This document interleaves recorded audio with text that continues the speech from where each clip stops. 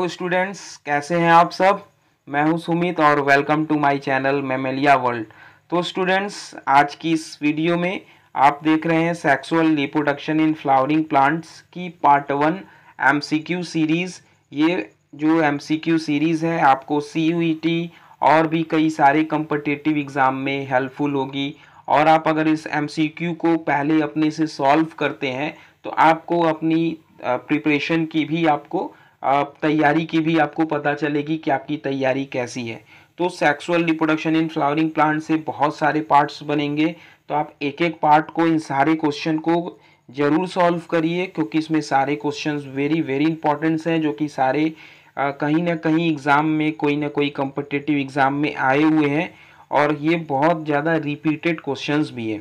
तो चलिए वीडियो को आगे बढ़ाते हैं और क्वेश्चन की तरफ़ मूव करते हैं। तो आप देख पाएँगे कि यहाँ पे जो आपका फ़र्स्ट क्वेश्चन लिखा हुआ है, आप स्क्रीन पे वो सारे क्वेश्चन को पहले पढ़ेंगे और फिर आंसर को भी देंगे। तो स्टूडेंट्स आप देखिए स्क्रीन पे लिखा हुआ है डबल फर्टिलाइजेशन एक्सीबिटेड बाई आप समझ रहे क्वेश्चन डबल फर्टिलाइजेशन की जो प्रोसेस होती है, वो किन में होती है? एलगी में होती है। डबल फर्टिलाइजेशन आप पढ़े होंगे तो आपको पता होगा। डबल फर्टिलाइजेशन की जो प्रोसेस है, वो एग्जीबिटेड बाई मतलब किसमें पाई जाती है? एल्गी में पाई जाती है, फंगस यानी फंजाई में जिम्नोस्पर्म में कि एनजियोस्पर्म में? तो आपको ये आंसर पता चल गया होगा। आप आंसर अपने आप में समझ पाए होंगे और आंसर बता भी पा सकते हैं। तो इसका आंसर क्या होगा? इसका आंसर होगा एनजियोस्पर्म इसका आंसर क्या होगा? फोर एनजियोस्पर्म क्योंकि एनजियोस्पर्म जो होगी वो कैरेक्टरिस्टिक फीचर्स होती है डबल फर्टिलाइजेशन की। डबल फर्टिलाइजेशन की जो प्रोसेस होती है, वो एनजियोस्पर्म में होती है। ठीक है? कंफर्म आप समझ पाए? बहुत ज़्यादा इंपॉर्टेंट है। फ़र्स्ट क्वेश्चन का आंसर आपको पता चला। अब मूव करते हैं स्टूडेंट सेकंड क्वेश्चन की ओर। सेकंड क्वेश्चन भी आप स्क्रीन पे पढ़ पा रहे होंगे। सेकंड क्वेश्चन क्या है? Functional megaspore in an angiosperm developed into जो फंक्शनल मेगा स्पोर है एंजियोस्पर्म में, वो किसमें डेवलप्ड हो जाता है? फंक्शनल मेगा स्पोर जो होता है, आप पढ़े होंगे मेगा स्पोरोजेनेसिस और मेगा गैमेटोजेनेसिस तो जो मेगा स्पोर है, ये फंक्शनल जो मेगा स्पोर है, आपको ध्यान में आना चाहिए। चार मेगा स्पोर बनते हैं, जिसमें से तीन डी जनरेट हो जाते हैं। एक मेगा स्पोर फंक्शनल होता है, वो डेवलप उसमें वो जो फंक्शनल मेगा स्पोर होता है एंजियोस्पर्म में, वो किसमें डेवलप हो जाता है? इम्ब्रियो में डेवलप होता है कि इंडोस्पर्म में, कि ओव्यूल में, कि इम्ब्रियो सैक में? आप आंसर अपने दिमाग में सोच के हमको बता सकते हैं कि आंसर क्या होगा। आप ट्राई करिए इस क्वेश्चन का आंसर क्या होगा पहले। आप पहले क्वेश्चन को रीड करके, इस क्वेश्चन को खुद आप आंसर में सर्च करके बता सकते हैं। तो स्टूडेंट्स इसका आंसर होगा फोर इसका आंसर होगा इम्ब्रियो सैक जो फंक्शनल मेगा स्पोर है एंजियोस्पर्म में, वो डेवलप इनटू इम्ब्रियो सैक वो इम्ब्रियो सैक में डेवलप हो जाती है। ठीक है स्टूडेंट्स आप आंसर को मैच भी कराते रहेंगे अपने साथ साथ तो चलिए नेक्स्ट क्वेश्चन की तरफ़ मूव करते हैं। नेक्स्ट क्वेश्चन आपके स्क्रीन पे आया होगा।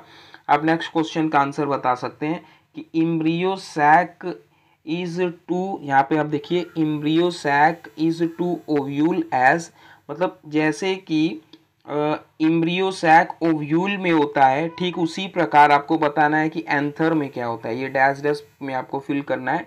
आप क्वेश्चन का मीनिंग समझ पा रहे होंगे कि जैसे ओव्यूल में इम्ब्रियो सैक होता है, वैसे एंथर में क्या होता है? एंथर में स्टामेन होता है कि फिलामेंट होता है, कि पॉलन ग्रेन होता है, कि एंड्रोसियम होता है। आप क्वेश्चन को पहले ध्यान से सुन लीजिए। Embryo sac is to ovule मतलब embryo sac is to ovule as मतलब इम्ब्रियोसैक ओव्यूल में जैसा होता है, वैसे एंथर में क्या होता है? इसका आंसर आप बता पाएँगे? इसका आंसर क्या होगा, आप सोचिए थोड़ा। इसका आंसर को हमको पहले थोड़ा सा आप सर्च करके हमको आंसर बताइए, अगर आ रहा होगा तो। बहुत ज़्यादा इंपॉर्टेंट क्वेश्चन है, इसका आंसर होगा थ्री पॉलेन ग्रेन। इसका आंसर क्या होगा बेटा? Three pollen grain. Pollen grain होता है एंथर के अंदर। इम्ब्रियोसैक फीमेल गैमिट होता है जो कि ओव्यूल के अंदर होता है, ठीक उसी प्रकार एंथर के अंदर पॉलिन ग्रेन होता है, जो कि मेल गैमिट होता है। ठीक है, कन्फर्म हुआ आपको आंसर? मूव करते हैं नेक्स्ट क्वेश्चन की ओर। नेक्स्ट क्वेश्चन भी आपके स्क्रीन पे आ गया है। नेक्स्ट क्वेश्चन का भी आप आंसर दीजिए। नेक्स्ट क्वेश्चन भी आपका आंसर देख आप स्क्रीन पे पढ़िए। नेक्स्ट क्वेश्चन क्या लिखा हुआ है? द ओव्यूल यहाँ पे आप पढ़िए रीड करिए कि the ovule of an angiosperm is technically equivalent to जो एंजियोस्पर्म में ओव्यूल होते हैं, वो टेक्निकली किसके इक्विवेलेंट होते हैं? आप समझे क्वेश्चन आपको आंसर देना होगा, आप आंसर पहले बताइए, आप आंसर को पहले ध्यान से क्वेश्चन पढ़ के सारे और सारे ऑप्शंस को पहले अच्छे से रीड करिए, फिर आप आंसर बताइए।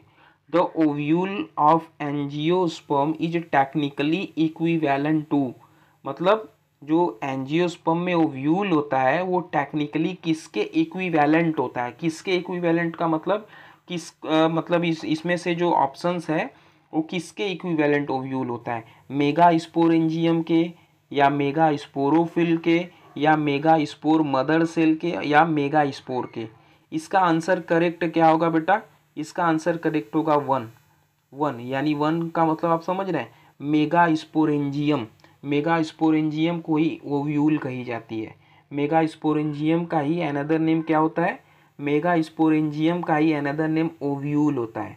आप समझ पा रहे हैं? मेगा स्पोरेंजियम इसका आंसर होगा। ठीक है? आप समझ पाए?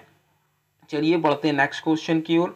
नेक्स्ट क्वेश्चन भी आपके स्क्रीन पे आ रही होगी। आपके नेक्स्ट क्वेश्चन को पहले आप अच्छे से रीड करेंगे, फिर आंसर देंगे। बहुत ज़्यादा इंपॉर्टेंट क्वेश्चन है। Double fertilization is double fertilization क्या होता है? आप पहले एक एक करके सारे ऑप्शंस को रीड करिए। Fusion of two male gametes of pollen tube with two different eggs जो फ्यूज़न होता है दो मेल गैमेट का, दो पॉलन ट्यूब में दो डिफरेंट एग के साथ। या सेकंड ऑप्शन होगा। Fusion of male gametes with two polar nuclei या थर्ड ऑप्शन होगा। Fusion of two male gametes with one egg या फोर्थ ऑप्शन होगा syngamy and triple fusion. क्या आंसर होगा? आप पहले इस क्वेश्चन को प्रॉपरली सारे ऑप्शंस को रीड करिए और फिर हमको आंसर आप बताइए। क्या आंसर होना चाहिए? आप अपने हिसाब से आंसर आपके माइंड में क्या आ रहा होगा? आप आंसर को पहले थोड़ा सा क्वेश्चन को रीड करके आंसर को सर्च करिए और आंसर को अपने दिमाग से सॉल्व करके हमको बताइए। इसका आंसर क्या होना चाहिए? तो बेटा, इसका आंसर जो सही आंसर होगा वो फोर होगा। फोर वाला आंसर होगा। क्या होगा? Syngamy and triple fusion. आपको पता होगा कि जब पॉलन ट्यूब बनती है तो उसमें दो गैमिट्स होते हैं। एक फ्यूज़ करता है एग सेल के साथ और फॉर्म करता है जाइगोट। जाइगोट आगे चल के ट्रांसफॉर्म हो जाती है इम्ब्रियो में और इम्ब्रियो से आगे चल के सीड बनती है।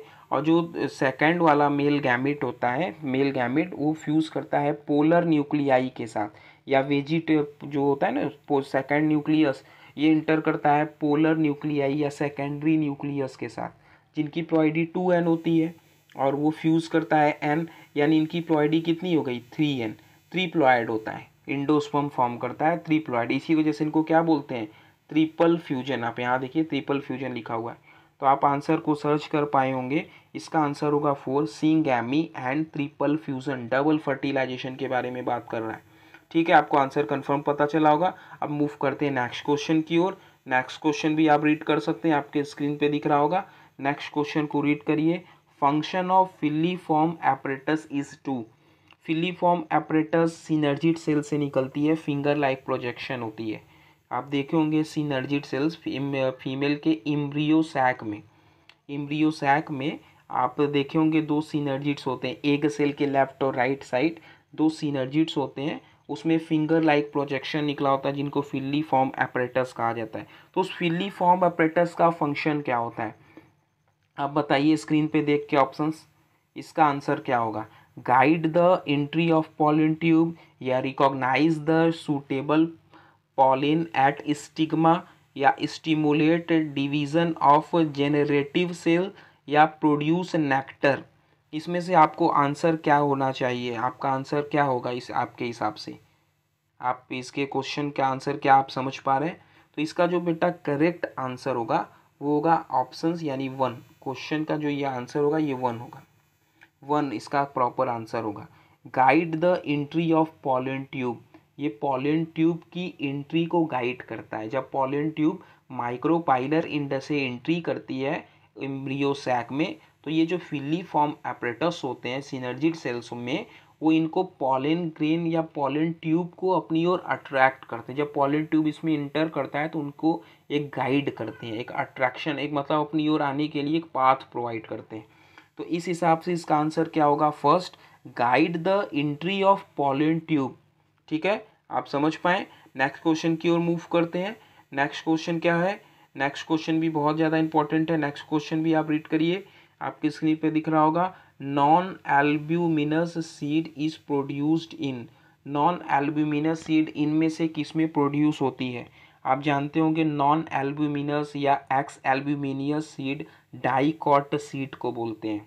जो डाइकॉट सीड होते हैं, वो नॉन एल्ब्यूमिनस होते हैं, क्योंकि उसमें जो एल्ब्यूमिन्स होती है, वो पूरी कंज्यूम हो जाती है डेवलपिंग इम्ब्रियो को नरिश करने के लिए।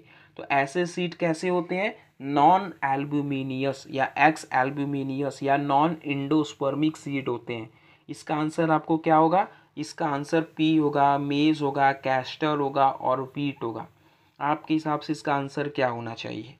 इसका आंसर बेटा होगा फ़र्स्ट इसका आंसर होगा फ़र्स्ट पी पी जो है, ये इसका आंसर होगा, मटर। पी ये नॉन एल्ब्यूमिनिया सीड है, जो कि डाइकॉट सीड है। ठीक है? आपको समझ पा रहे हैं आंसर। अब मूव करते हैं नेक्स्ट क्वेश्चन की ओर। नेक्स्ट क्वेश्चन भी आप रीड करिए और इसका आंसर देने की कोशिश करिए। नेक्स्ट क्वेश्चन क्या लिखा हुआ है? Pollen tablets are available in market for जो पॉलिन टैबलेट्स होते हैं मार्केट में अवेलेबल होते हैं, वो किस पर्पज़ से मार्केट में अवेलेबल है, उनका काम क्या है? एक्स टू कंजर्वेशन करते हैं इन सी टू फर्टिलाइजेशन करते हैं ब्रीडिंग प्रोग्राम्स के लिए और सप्लीमेंट्री फ़ूड के लिए। आपका आंसर क्या होगा? आप आंसर कुछ बताइए हमको। आपका आंसर क्या होगा? ये ये इसका आंसर प्रॉपर जो करेक्ट आंसर होगा, वो होगा ऑप्शन फोर। ये फोर वाला आंसर होगा। Supplementary food. आपको पता होगा कि पॉलिन टैबलेट्स जो होंगे, वो बहुत ही ज़्यादा फ़ूड सप्लीमेंट के तौर पे भी यूज़ किए जाते हैं।